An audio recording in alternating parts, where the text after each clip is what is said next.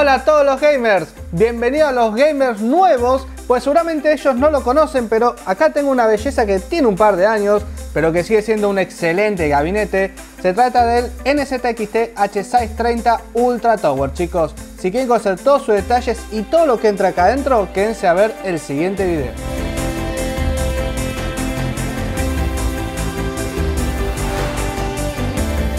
Con unas dimensiones de 567 x 547 x 245 y un peso de 14 kilogramos, tenemos un gabinete con formato Ultra Tower, que es compatible con placas madres EATX, XLATX, ATX, Micro ATX e ITX.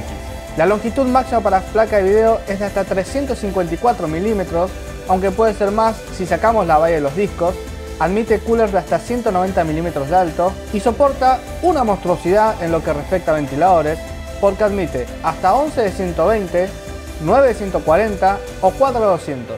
De fábrica nos va a incluir uno de 200 y uno de 140. En términos de expansión soporta 9 slots PCI, 10 bahías de 2,5, 8 de 3,5 y 2 externas de 5,25. Chicos, les doy una pequeña recomendación si van a comprar este gabinete, no lo traigan solos en el colectivo o en el transporte público porque, a ver, si el gabinete es enorme y a eso sumamos las protecciones que son muy gruesas y la caja, solos no lo van a poder traer. Así que directamente busquen un flete, un auto, sí, o directamente tráiganlo con otra persona. Respecto a los accesorios, se encuentran en el interior del gabinete, dentro de una cajita, donde tenemos los distintos tornillos separados en bolsitas con su respectivo uso y un manual que sí vamos a leer si queremos armar bien la Master Race. Una vez que tenemos el gabinete en la mesa, lo primero que nos va a llamar la atención, además del tamaño, es la calidad de su acabado exterior, combinando la pintura brillante con detalles en negro mate muy prolijos, bien de un gabinete premium. En este modelo no tenemos paneles acrílicos ni vidrio templado, sino que es completamente ciego. A cambio, tenemos insonorización completa en todos sus paneles convirtiéndolo en la opción ideal para los que priorizan tener un equipo silencioso, como por ejemplo para un estudio de grabación. En las entradas de aire, que sería la parte inferior y la frontal, tenemos filtros antipolvo y son todos removibles para realizar una correcta limpieza. Arriba y atrás no tenemos filtros ya que son ubicaciones donde saldrá el aire caliente, por lo que no necesitamos protección contra el polvo. A la izquierda tenemos su panel compuesto por botón de encendido y apagado de las luces LED que nos trae el gabinete, los jack de auricular y micrófono, dos USB 3.0 y dos USB 2.0 junto a un lector de memorias SD. Más arriba tenemos los botones de encendido y de reinicio. Si nos vamos al interior, vamos a notar que tenemos la misma calidad que en el exterior, con acabado solamente en acero, dejando solamente el plástico para la bahía de los discos. La pintura también es brillante y tiene un acabado de primer nivel. Sus 14 kilos también demuestran su nivel de construcción, se siente muy sólido y rígido. Como vemos chicos tenemos muchísimo espacio para instalar lo que querramos, pero igualmente vamos a ir viendo pieza por pieza qué podemos instalar y dónde. Comenzando por la pieza básica, o sea la placa madre, podremos colocar placas desde Mini TX, Micro ATX, ATX, EATX y XL-ATX. Por lo que sacando de lado placa madre del servidor podemos instalar la placa madre que querramos. Si nos vamos al almacenamiento, disponemos de dos bahías de 5,25 para poder instalar grabadoras de DVD o de Blu-ray. En cuanto a discos, podemos instalar la desproporcionada cantidad de 8 unidades de 3,5 o 10 de 2,5, o sea, podremos tener hasta 10 discos en total, ideal para los que almacenan muchos videos o películas en alta resolución. Como extra, tenemos el lector de memorias SD que mencionamos antes.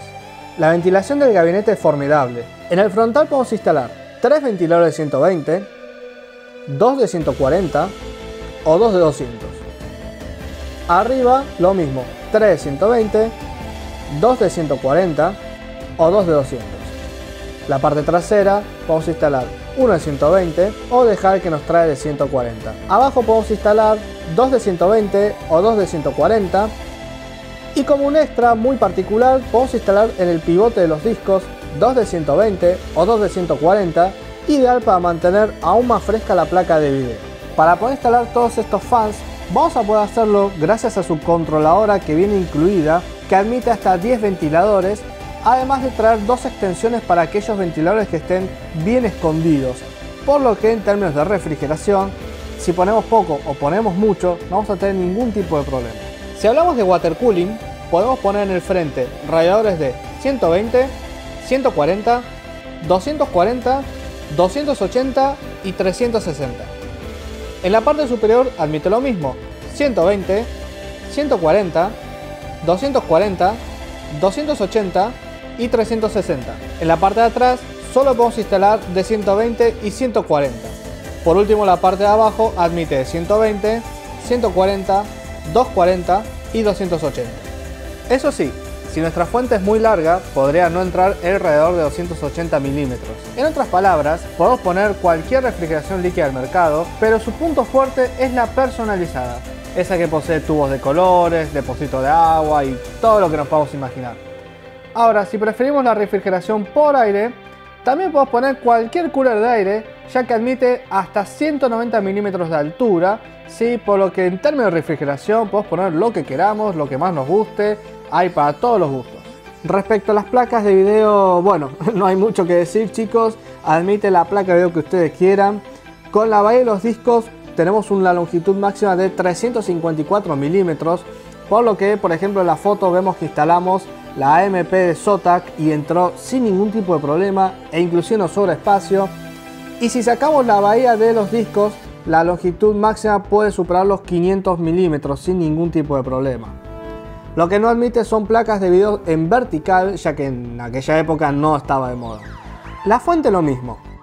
Soporta cualquier longitud y como vemos la Gigabyte le sobra muchísimo espacio. La única recomendación es que busquen fuentes de gama media en adelante, ya que por lo general las de gama baja o genéricas tienen el cable del CPU de 4 u 8 pin muy corto y podría no llegar a la parte de arriba.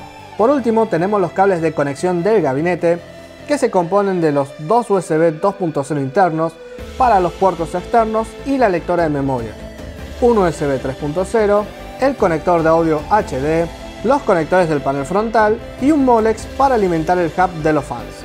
Así se vería nuestra PC terminada. A pesar de solo incluir dos ventiladores y ser prácticamente hermético, las temperaturas del equipo fueron mejor de lo pensado, alcanzando solo los 81 grados el procesador y 75 nuestra RX 570, valores más que buenos si los comparamos con el Thermaltake P3 que es totalmente abierto, donde llegamos a los 78 grados el procesador y 71 la placa de video. A pesar de tener 5 años más o menos en el mercado, el NZXT H630 todavía sigue siendo una excelente opción para construir equipos sobre todo equipos grandes y que querramos mucho espacio. Podemos instalar cualquier tipo de hardware, podemos instalar la cantidad que queramos prácticamente, bueno, excepto placas madre por supuesto, pero podemos instalar 4 placas de video, 11 ventiladores, 10 discos, grabadora externa, podemos instalar de todo. A destacar tenemos la construcción, la calidad de los materiales, ¿sí? Los acabados que tiene, o sea, tanto la pintura como los acabados en mate están muy bien cuidados. Algunas cosas en neutro podríamos destacar, eh, que no tiene vidrio templado, ¿sí? a cambio tenemos dos tapas ciegas con insonorización, o sea que no se va a filtrar el ruido hacia afuera, sobre todo si instalamos los 11 ventiladores, no vamos a sentir que tenemos un Boeing acá abajo del escritorio, eso está bárbaro. No tenemos cubrefuente tampoco, pues son dos detalles que en aquella época todavía no estaban de moda, ¿sí? Eh, aparte, bueno, si utilizamos por ejemplo el cubrefuente, habría que ver el tema de la compatibilidad de los discos y otras cosas. Pero bueno, es otro tipo de enfoque del gabinete. El diseño, bueno, es minimalista. Eh, si te gusta algo más agresivo, con más líneas y bla bla bla, eh, te diría que directamente busques otra marca porque no es el enfoque de NSTXT. Acá hablamos de gabinete minimalista. A mí personalmente prefiero lo minimalista, por eso este gabinete me encantó en diseño, pero eso es algo a criterio de cada uno. Cosas que no me terminaron de cerrar, eh, bueno, la controladora de ventiladores no se puede regular, es fija, ¿sí? no tiene ningún tipo de regulación. Y teniendo soporte para 11 ventiladores, me hubiese gustado que trajera por lo menos dos más, uno arriba y otro en el pivote. ¿sí? Yo siento que con dos, aunque térmicamente nos va a rendir de fábrica, le hubiese puesto dos más. Es una opinión mía, eh, si por ejemplo prefieren el templado, el cubre fuente y esas cosas, les diría que directamente vayan al H700i que está actualizado y tiene todo lo último que se puso a la moda, tiene las luces RGB, tiene una controladora digital, tiene un montón de cosas. Este, bueno, como dijimos, se está descontinuando y tiene un precio agresivo hoy por hoy. Y por supuesto les dejo el link en la descripción si lo quieren comprar, si les gustó, si quieren tener un gabinete muy espacioso, si queremos meter un montón de hardware, tenemos esta excelente opción a un precio la verdad bastante bajo.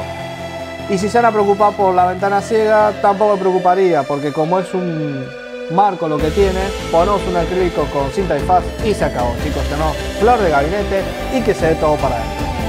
Espero que les haya gustado el video. Si te gustó, puedes suscribirte a nuestro canal de Compra Gamer y dejarle un like. Para seguir todas nuestras novedades, puedes seguirnos en Facebook que somos Computación Compra Gamer, en Twitter que somos Compra Gamer OK y en Instagram que somos Compra Gamer-oficial. Soy Hub y este fue el análisis del H630 de NZXT.